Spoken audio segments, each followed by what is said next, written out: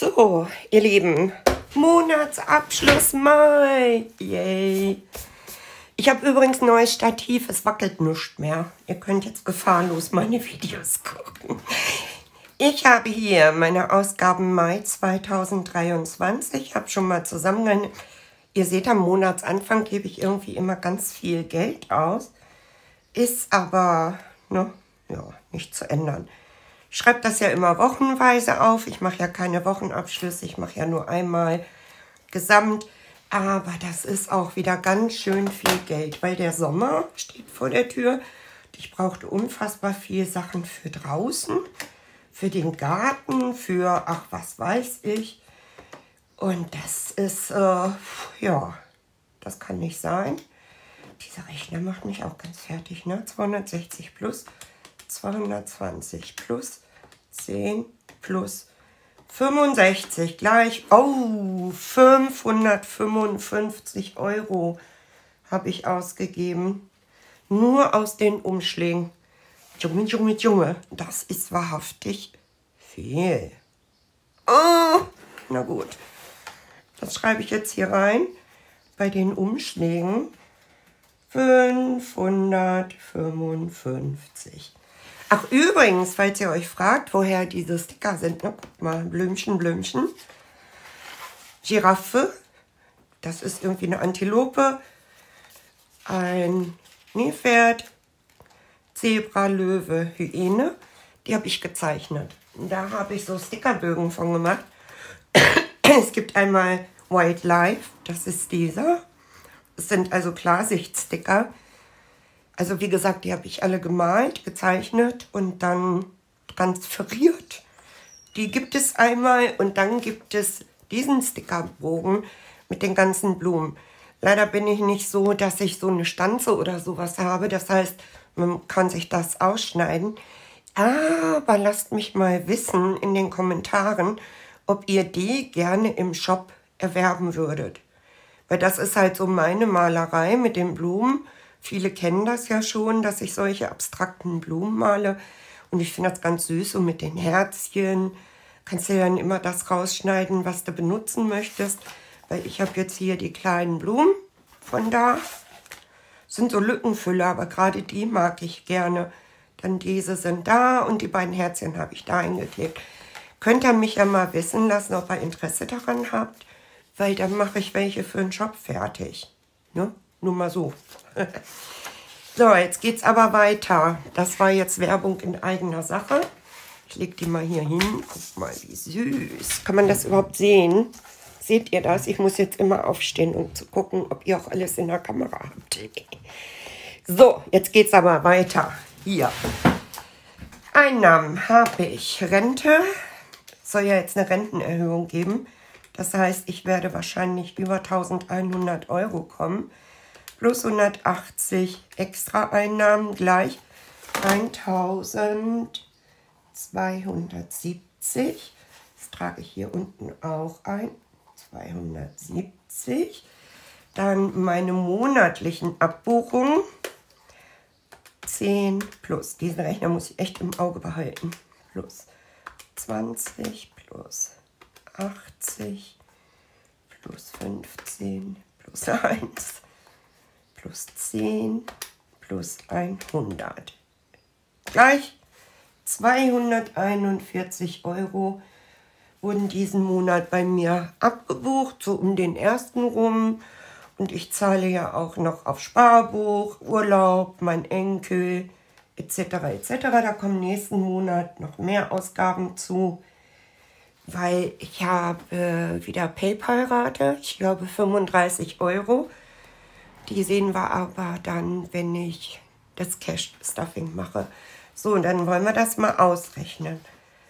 1270 minus 190 war die Kreditkarte, 241 die monatlichen Abbuchungen und 555, was ich ausgegeben habe, macht ein Plus von 284 Euro.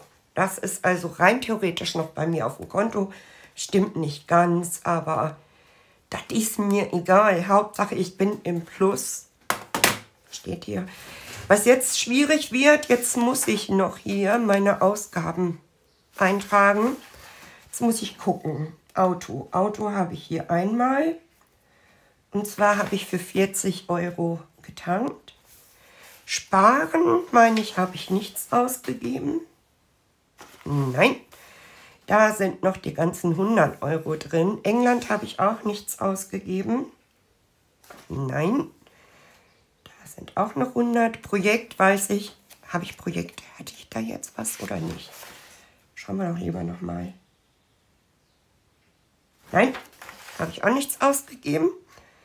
Ich meine, bei Kosmetik habe ich was ausgegeben. Haushobby, Vorsorge, Einkauf, Einkauf, Hobby, Kleidung. Nö.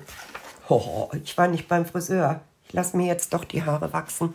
Musst mal im letzten Video gucken, die liegen mir jetzt halb auf den Ohren. Das ist ein ganz komischer Zustand. Bei Freizeit habe ich diesmal nicht alles ausgegeben, weil ich nämlich so viel im Garten zu tun hatte, dass ich mir kaum Freizeit gegönnt habe habe ich nur die Hälfte ausgegeben. Das macht mich ziemlich happy. Bei Kleidung habe ich aber was ausgegeben und zwar, achso, warte mal, jetzt hier Freizeithäkchen, damit ich hinterher nachvollziehen kann. Kleidung, 35 Euro. 35. Bei Haum, Haus, 150. Nee, das war das andere.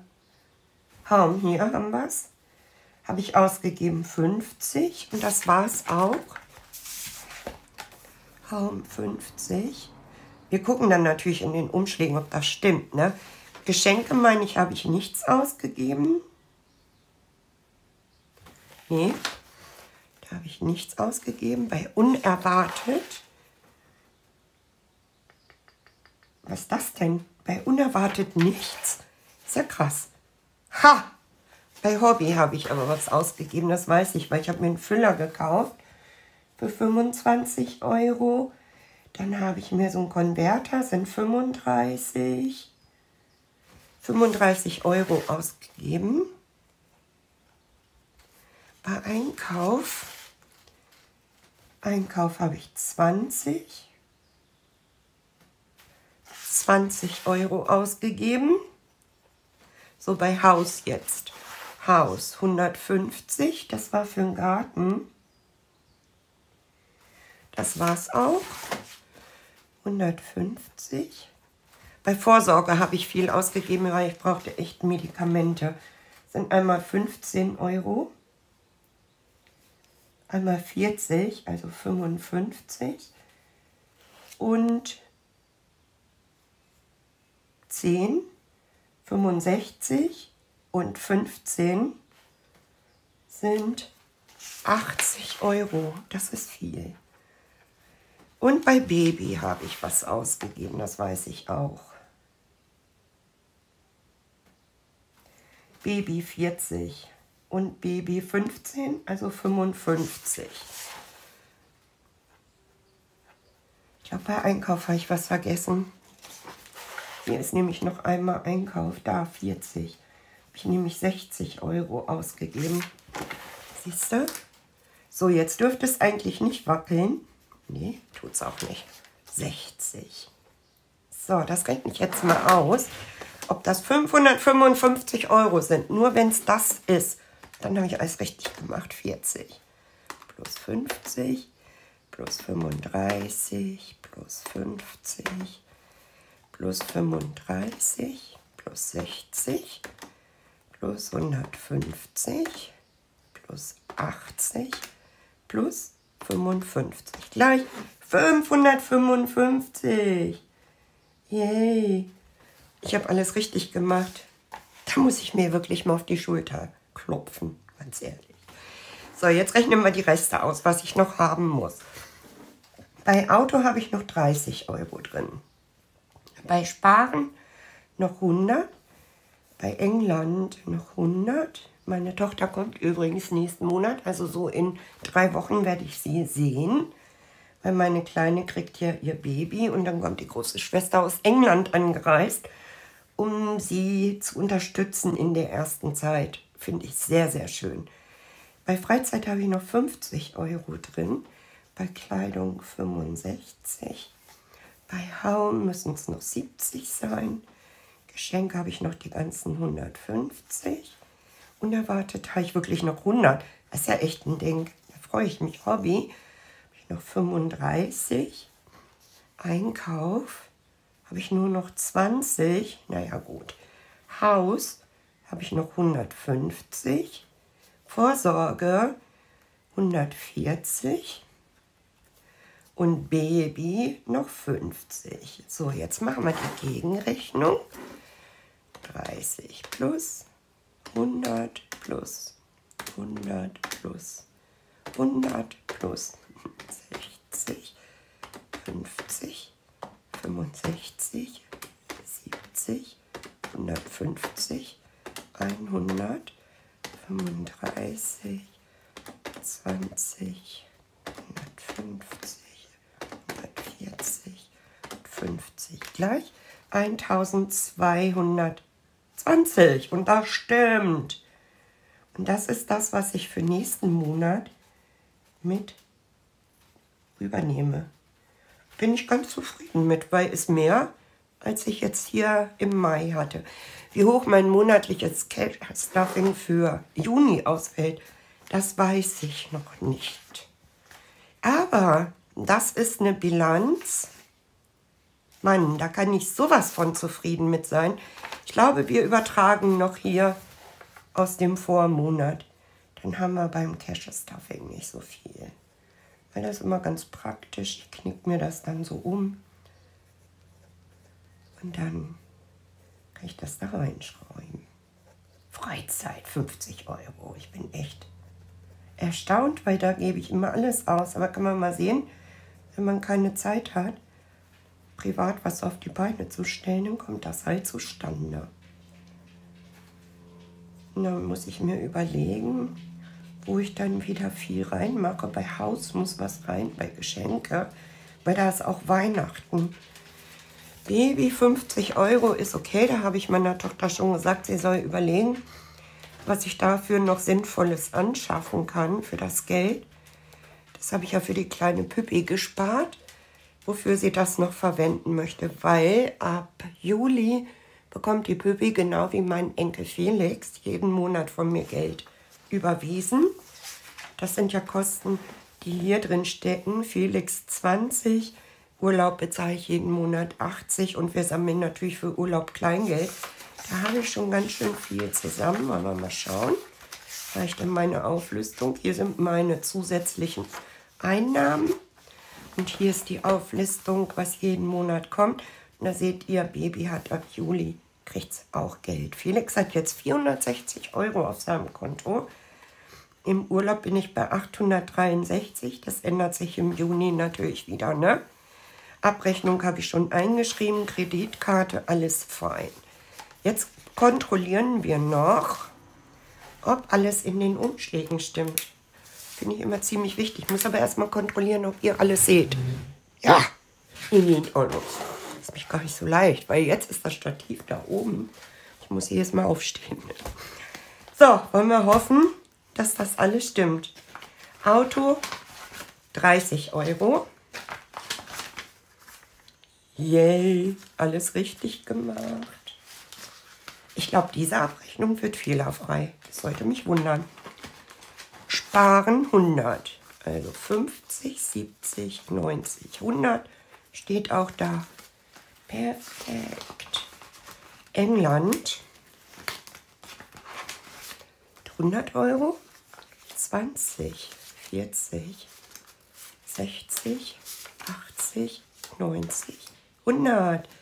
Hier steht auch dann haben wir das Projekt. Ähm, ich stelle jetzt übrigens, möchte ich von Brille auf Kontaktlinsen umstellen. Ich war am Samstag beim Optiker und habe also den Auftrag dazu gegeben, Linsen in meiner Stärke anzufertigen. Da bekomme ich jetzt ein paar Probelinsen. Und ich habe ja so diverse Probleme mit den Augen und ich habe aber noch größere Probleme mit meiner Brille. Weil im Sommer geht das für mich gar nicht, weil es tut weh es rutscht und ich fühle mich so unwohl mit dieser Brille.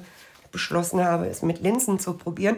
Aber ich brauche so eine Gleitsichtlinse und der Optiker meinte, es wäre nicht so ganz leicht, sich damit zurechtzufinden. Ich will es aber versuchen. Und zudem habe ich, wer mich länger kennt, ja das Problem, dass mein linkes Auge immer trennt. Und er meinte, es könne besser werden durch die Linse, es könnte sich aber auch verschlimmern. Also drückt mir mal die Daumen, dass das klappt. Die werde ich nächste Woche abholen. Und dann checke ich das mal. Und da geht das Geld vom Projekt dann wahrscheinlich für drauf. Das sind 50, 70, 90, 100 Euro, weil ich weiß nicht, was diese Linsen im Endeffekt kosten werden. Na, wollen wir mal gucken. Kosmetik müssten noch 60 Euro drin sein. Schauen wir mal. 20, 40, 50, 60. Passt auch. Wow, trotz der hohen Ausgaben scheint alles zu stimmen. Freizeit 50 Euro, 20, 40, 50. Yay, passt auch. Bekleidung 65, ja, steht da auch. 50, 60, 65. Wow, sollte diese Abrechnung die erste sein, die ohne Fehler ist, weder verschrieben noch verrechnet noch sonst irgendwas, das würde mich massiv wundern.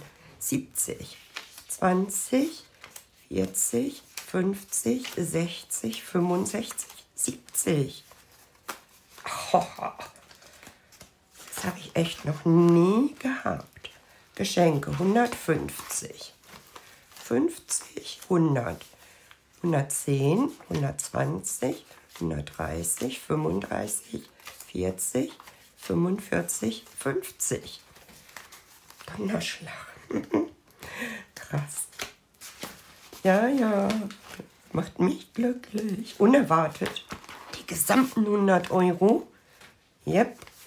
50, 70, 90, 100.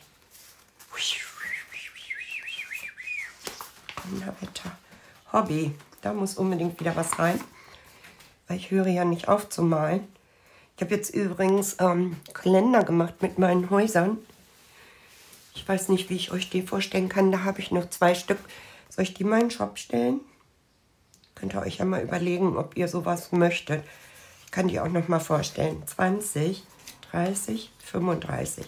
Genau, ich stelle noch mal vor, was ich so gemacht habe, was sich bei mir im Shop befindet, weil ich habe auch unfassbar viel schöne Wolle gesponnen. Mit dem elektrischen Spinnrad draußen im Garten ist eine wahre Freude. Hier haben wir den Einkauf, 20 Euro. Ja, auch das ist richtig. Donnerwetter, Donnerwetter. Ja, ich glaube, ich mache mal so ein Video. Dann haben wir Haus. Da muss unbedingt wieder was rein, weil das ist ja eigentlich für Nachzahlung.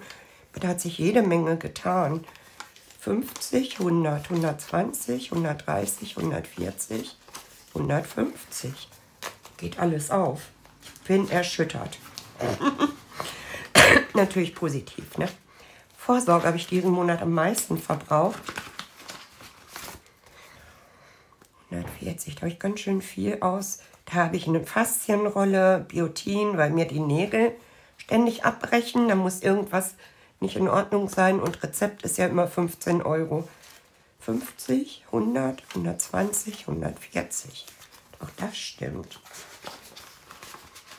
Mensch, Mensch, Mensch. Urlaub brauche ich nicht, Felix auch nicht.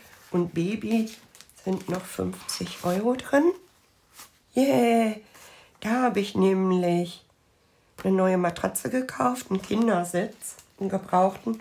Den brauche ich ja nicht so oft. Und jetzt sind noch 50 Euro drin, wo sich meine Tochter noch überlegen kann, was sie da haben möchte. Und jetzt guckt mal, die Abrechnung ist doch sowas von nur einmal radiert. Wow, ich bin begeistert. Und dann sehen wir uns wieder, ich denke mal Samstag. Ich hatte jetzt meinen Stammzuschauern erzählt, dass ich wieder starke Frauen mache, dass ich das diese Woche mache. Aber ich schaffe es nicht und die Abrechnung geht für mich halt auch im Moment vor, damit ich immer auf dem Laufenden bleibe. Ne? Weil ihr wisst, Geld sparen, ne? ohne geizig zu sein. Macht Spaß, weil ich habe ganz schön viel ausgegeben Und trotzdem ist es so, dass ich noch ein Plus abgestaubt habe. Und das macht mich richtig, richtig happy. Wir sehen uns dann am Samstag mit ganz viel Bargeld wieder, ne? Bis dann, ihr lieben Süßen. Ich wünsche euch einen zauberhaften Tag und denkt mal drüber nach, ob ihr das möchtet oder nicht. Bis zum nächsten Mal. Tschüss.